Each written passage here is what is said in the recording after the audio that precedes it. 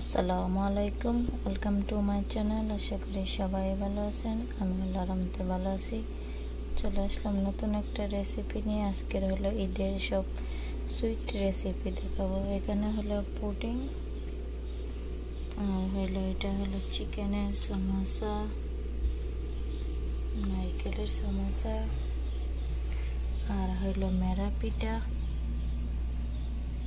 এখানে দই চিকেন কাবাব, তারপর এখানে সেমাই, লাচ্চা সেমাই, এখানে তেলের পিঠা মোচা গুড় দিয়া, হলো জর্দা সেমাই।